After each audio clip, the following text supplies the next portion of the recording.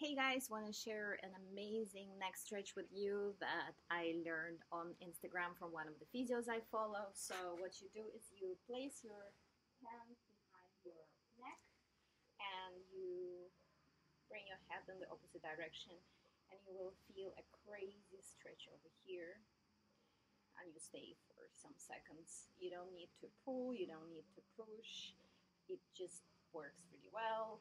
Forget to do other side, even if you feel like one side is more tight. Make sure that you do both sides equally. And um, neck, always good to stretch it, right? Hello from Greece and love everybody.